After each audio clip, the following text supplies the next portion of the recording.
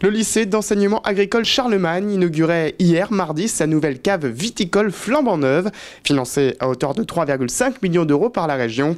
Après des mois de travaux pour réhabiliter l'ancienne cave insalubre, le projet aura mis près de 10 ans à voir le jour. C'est comme si l'ancienne cave renaissait, donc c'est magnifique, avec de nouveaux équipements, des cuves, des hum, impressoirs pneumatiques, des nouveaux équipements qui sont, euh, qui sont euh, le, le, plus, le, l'extra de la viticulture. On peut dire aussi qu'il y a aussi des espaces pour faire des micro-vinifications. Donc nos élèves, en fait, peuvent faire des récoltes d'une certaine parcelle et créer leur propre cuvée. Et donc on imagine qu'on aura une cuvée par classe, par exemple, dans les années à venir.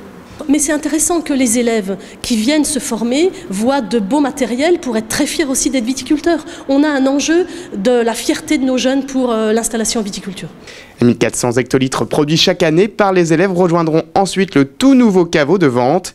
Grâce à ce nouvel outil, les élèves du lycée Charlemagne ont de quoi devenir l'excellence de la viticulture audoise.